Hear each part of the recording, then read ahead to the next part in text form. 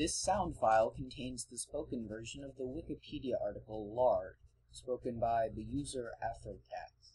This recording is current as of the 30th of April, 2011. Lard from Wikipedia, the free encyclopedia at en.wikipedia.org. Lard is pig fat in both its rendered and unrendered forms. Lard was commonly used in many cuisines as a cooking fat or shortening, or as a spread similar to butter. Its use in contemporary cuisine has diminished because of health concerns posted by its saturated fat content. Its use in contemporary cuisine has diminished because of health concerns posed by its saturated fat content and its often negative image. However, many contemporary cooks and bakers favor it over other fats for select uses. The culinary qualities of lard vary somewhat depending on the part of the pig from which the fat was taken and how the lard was processed. Lard is still commonly used to manufacture soap. This article contains nine sections. They are 1. Lard production 2.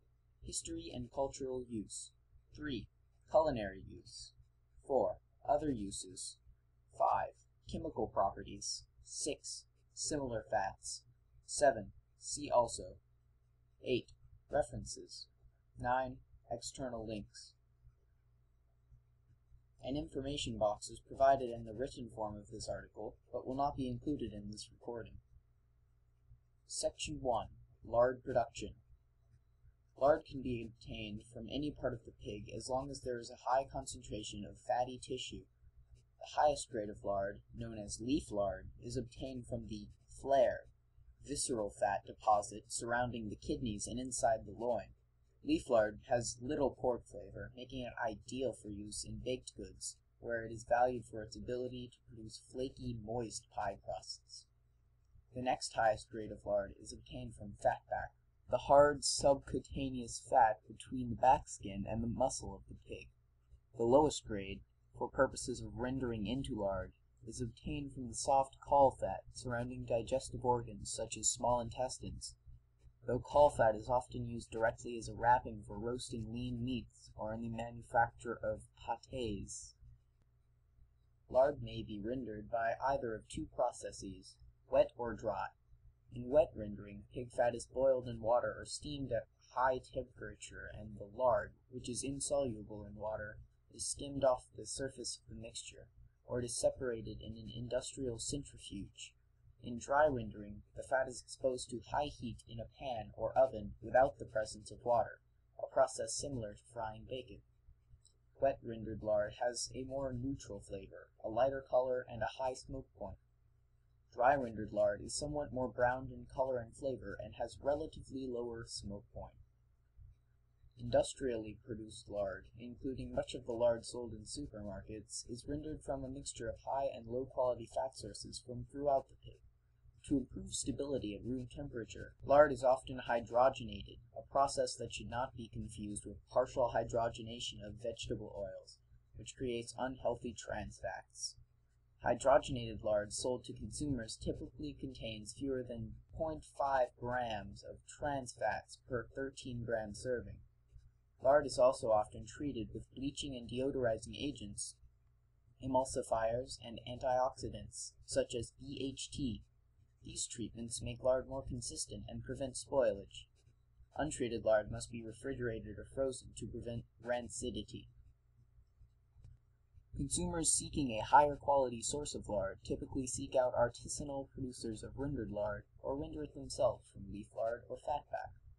A byproduct of dry rendering lard is deep fried meat, skin, and membrane tissue known as cracklings.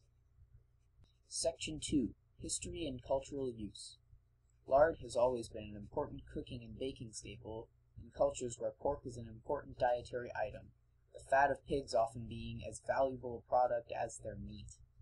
During the nineteenth century, lard was used in similar fashion as butter in North America and many European nations.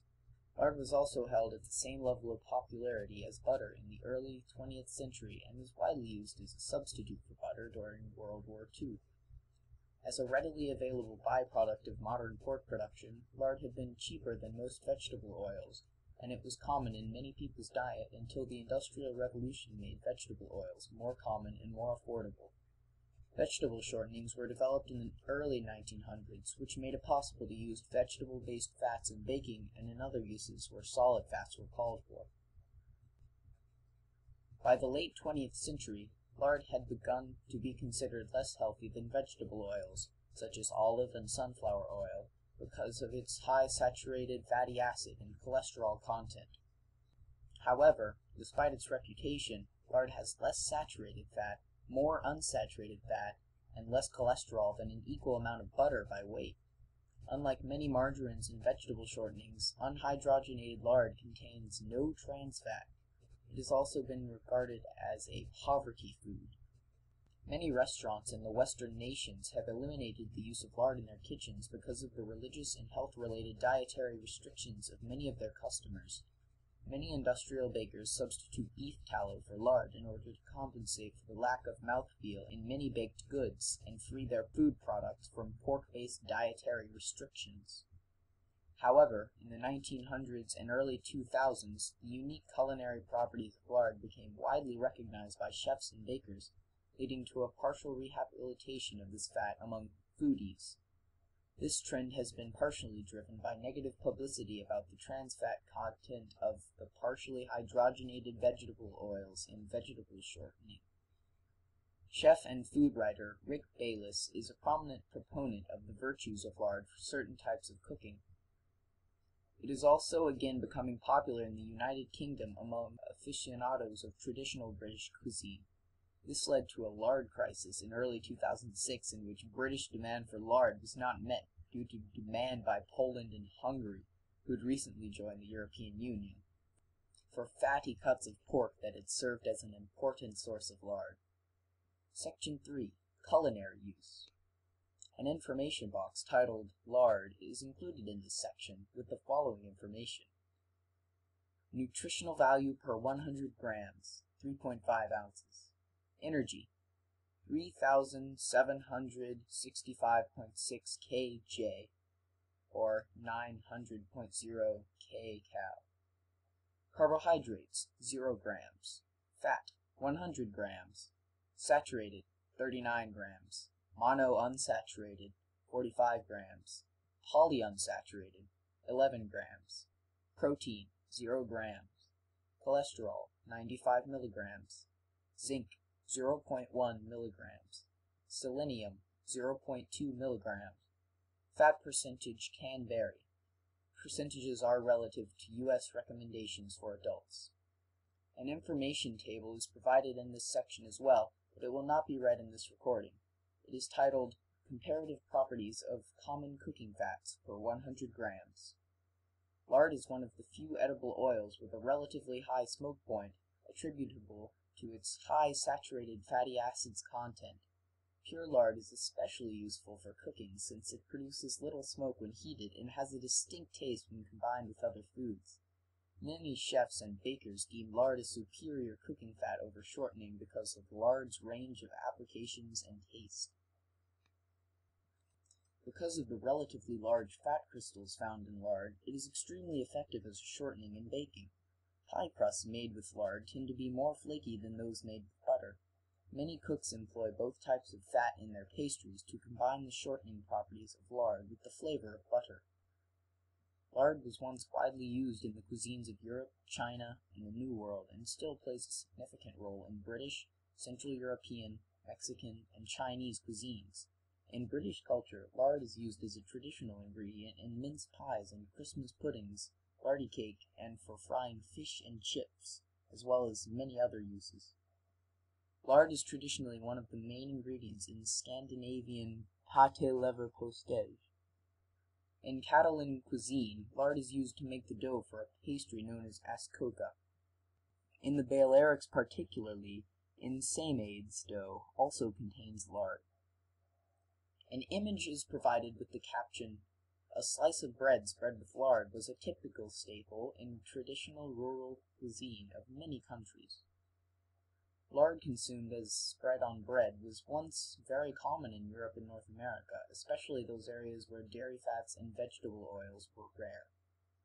As the demand for lard grows in the high-end restaurant industry, small farmers have begun to specialize in heritage hog breeds with higher body fat contents than the leaner, modern hog. Breeds such as the Mangalitsa hog of Hungary or large black of Great Britain are experiencing an enormous resurgence to the point that breeders are unable to keep with that demand.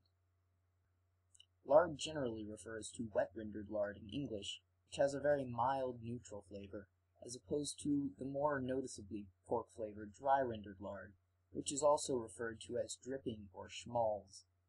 Dripping or schmaltz sandwiches are still popular in several European countries.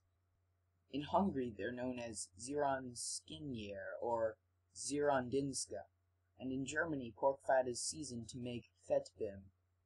Similar snacks are sometimes served with beer in Poland, Czech Republic, and Slovakia. They are generally topped with onions, served with salt and paprika, and eaten as a side dish with beer. All of these are commonly translated on menus as lard sandwiches, perhaps due to the lack of familiarity of most contemporary English native speakers with dripping. Attempts to use Hungarian zsír or Polish smalec in British recipes calling for lard will soon reveal the difference between the wet rendered lard and dripping. In Taiwan, Hong Kong, as well as many parts of mainland China, lard was often consumed mixed into cooked rice along with soy sauce to make lard rice. This is less commonly served in modern times due to concerns with saturated fats. Section 4 Other Uses An image is provided with the caption 1916 advertisement for lard produced by Swift and Company. Rendered lard can be used to produce biofuel and soap. Lard is also useful as a cutting fluid in machining.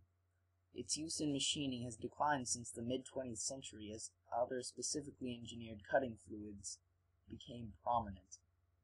Its use in machining has declined since the mid 20th century as other specifically engineered cutting fluids became prominent.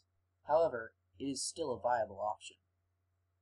Section 5 Chemical Properties Pigs that have been fed different diets will have lard with a significantly different fatty acid content and iodine value peanut fed hogs, or the acorn fed pigs raised for jamon iberico, therefore produce a somewhat different kind of lard compared to pigs raised in North American farms that are fed corn. Section 6 Similar Fats Cooking fat obtained from cattle or sheep is known as suet or tallow.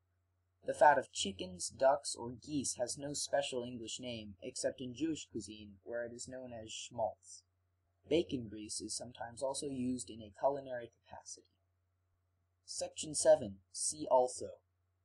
Lardy cake, an English bread with heavy lard content. Section 8. References.